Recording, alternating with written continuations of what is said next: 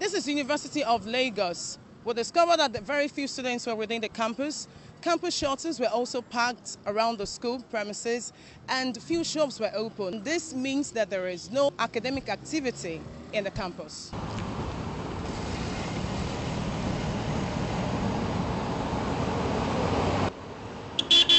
Some alumni of the university and parents spoke to me. Before the festive period, since there is no hope of us calling off the strike, so so many people they have to go home because there is no certainty of calling it off. So what are you doing on campus? Nothing. I don't see any student within the school. It's very, very, very dry. Currently, I don't really see us calling off the strike soon because both the government and ASU committees they're not actually reaching a bargain at all. I just, I just meant to start, sit down at home and you know maybe after election or something.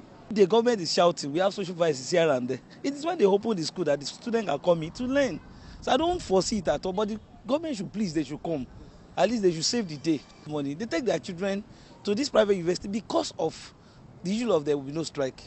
But if you balance it at both sides, okay, what about the children of the poor? The private, they will be making their money. Then what happened to our own premier university here?